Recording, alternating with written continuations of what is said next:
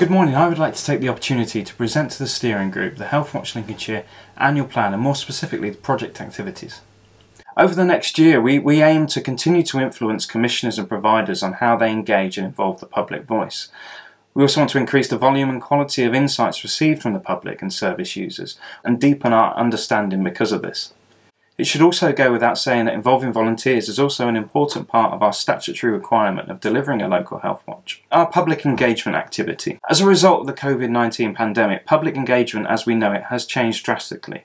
We expect that there will be no face-to-face engagement in the community for at least the rest of 2020, which has meant looking for new and unique ways of engaging with the public. So last year we began to successfully use digital engagement through social media advertising to great effect, and this will continue throughout the 2020 and 21 year. However, we are very aware that this excludes some areas of the community and we will be working with other stakeholders and voluntary organisations to better reach seldom heard groups, some of who cannot access through digital means to hear their experiences of health and social care services in Lincolnshire. In order to enable patients, service users and the public to share their views and experiences of health and social care services, we will be working more in collaboration with others and engaging creatively and meaningfully. One of our most successful public engagement events is our Your Voice at Healthwatch. These are an opportunity for the public to attend and take part in a Q&A session. Average attendance is between 40 to 50 people per event from a wider background of the community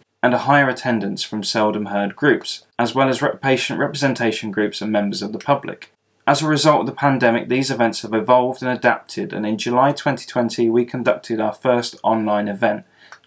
Due to the success of this event, we will be running them virtually for the foreseeable future. We will also be adapting the learning from Your Voice events to bring the public online engagement opportunities, which will run to support project work and facilitate uh, information and signposting. These will be more informal drop-in sessions with the working title of A Cuppa with Healthwatch, giving the public the opportunity to engage and feed into Healthwatch Lincolnshire any concerns or positive experiences regarding a specific topic, as well as giving people the opportunity to access our information and signposting service. This will be a more informal engagement opportunity for people to join. So themes for our future Your Voice at Healthwatch events. Some of these themes have been chosen because they coincide with the opportunity to feed into other work being done in Lincolnshire and allow us to feed in the patient experience uh, to the table at these important meetings. Our Next Your Voice event in October has the theme of hospital discharge. This relates to the work that Healthwatch England began in September, as well as it being a priority for the United Lincolnshire Hospital Trust. January 2021 will see our Your Voice theme as urgent and emergency care. This can feed into the Quality Surveillance Group in January and feed into the Hospital Trust meeting in March, which will also complement the work that we will run in conjunction with this. April's theme will be maternity. This will feed into May's Quality Patient Experience Committee uh, meeting, also known as QPEC, and it's not a population of people we often engage with, so I thought it might bring a new audience to us. July 2021, the, the, the theme chosen for the Your Voice is social care we need to include at least one social care theme and it will also coincide with our social care work uh, once our focus is agreed. So our project activity, how we set our priorities and decision making. As you're aware, the purpose of the Healthwatch Steering Group is to agree the areas of priority for Healthwatch Lincolnshire for the coming year. This year it was felt the need for an overarching theme of communication and information. Continually, Healthwatch Lincolnshire receives feedback from the public about poor communication from their health and care services and how it impacts on, on their mental well-being and ultimately, ultimately their physical health. To provide some context to this issue, over the last past year alone, Healthwatch Lincolnshire has received 615 public experiences that highlight their concerns about how services communicate with them. These experiences can be broadly categorised in three ways. The first being administration. This is often through uh, misleading letters or incorrect information on, on letters and administrational documents. Two is through verbal communication. So this is a, an example of this would be patients receiving information from doctors and consultants and unsure about what is said and the left being confused and don't understand. The, the third point is around general communication. This can be from leaflets, posters and signage uh, that can include information that is out of date or not meeting the needs of individuals. Therefore, this year we felt an overarching theme across our work could look to address these communication and information issues. Our aim is to provide evidence of where involvement in communication and information has resulted in positive outcomes for patients and carers. As well as being a feature of our work throughout the year, we will also look to provide an evaluation report at the end of the year. Under our watchdog role, we will be looking back at some of our previous work and evaluating how providers have responded to our recommendations and to see how well services have or have not improved for patients. In January, we plan to revisit our stroke work and check that proposed actions for, for improvements provide providers of stroke services are in place and benefiting patients. Recommendations for improvements in communication information for parents, patients and carers will be a positive to people's overall well-being. This will involve a series of desk-based activities involving contacting stroke services, patients, carers, arranging focus groups, telephone calls and virtual meetings. We're also considering an online survey. This will then feed back and give an update into the work already carried out during the local 100 day stroke challenge and will be beneficial for the STP and long term plan for Lincolnshire Acute Services Review.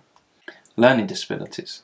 This year we also plan to revisit our work with learning disabilities and map and report the situation with regards to NHS annual health checks for people with learning disabilities. This is with a view to raising this as a serious issue impacting the health of people with learning disabilities. This will involve desk-based activities including conversations with CCG staff, contact with GP surgeries and with the LD community. This work will then be fed back into the Learning Disabilities Mortality Review and RESPECT, which is recommended summary plan for emergency care and treatment. Personal health budgets. We will also be using our watchdog role to look back at our previous work at personal health budgets and understand if any improvement has been made with the knowledge and understanding and uptake of personal health budgets. Quality accounts. Every year, Healthwatch Lincolnshire is asked to comment on the local service provider's quality accounts. Under our watchdog role, we have agreed trigger points throughout the year up to March 2021 to enable the Healthwatch Steering Group to have a better understanding of the impact of NHS trust performance and patients and carers' experiences against their quality priorities. This allows us to use patient experience to influence the quality accounts throughout the year rather than waiting till the end of the year to provide our evaluation. Hospital discharge. Our work on hospital discharge began in September with a national survey led by Healthwatch England and the Red Cross. We have now begun reporting to providers these current experiences of hospital discharge and its impact both positively and negatively to people's physical and mental well-being. With this, we aim to see positive improvements in communication and information provided at the point of discharge. Hospital discharge is also a priority for United Lincolnshire Hospital Trust set out in their quality accounts. This work will therefore be extremely useful for this process and will give them current and up-to-date patient experience feedback to help assist to improve this area of priority. It will also influence at a national level through the work being carried out by Healthwatch England. Mental health. One of the impacts of the pandemic has been the rise in people suffering with mental health issues, with a particular area of concern being suicide. Healthwatch England have already raised the impact of mental health during COVID, and whilst this is not a COVID specific related piece of work, we all recognise the impact of COVID on people and services in Lincolnshire. We look to understand and share the impact on people in crisis while waiting for mental health service support. We will look to consider any links to long waits and attempted or achieved suicides, and to understand what communication and information patients, their carers and families receive whilst waiting for mental health support. We've already begun gathering feedback with regards to suicide and suicide prevention. This was done to feed patient experience and feedback directly into the Suicide Prevention Data Group and Quality Surveillance Group in January. There is currently work being done in Lincolnshire on the Suicide Audit Suicide Prevention Strategy and Action Plan. The work we are doing will help identify if these plans are what is needed and also will act as a benchmark. Social care. Healthwatch Lincolnshire continues its commitment to social care and we will be working in collaboration with Lincolnshire County Council and Adult Social Care to agree the main themes and focus to our work within social care. Plans will be agreed by the end of December and we will be looking to run this work between May and July 2021. In the meantime, we continue to encourage social care feedback from the public and, and we will share this with the relevant providers and commissioners to improve patient experience. So this plan has been designed in a way that allows us to have some capacity for movement if other health and social care uh, concerns arise, where it would be better suited for Healthwatch and patients, carers and service users if our focus was moved towards them. For example, we are expecting some public consultations around the NHS long-term plan and the acute services review, but are uncertain of when they will occur.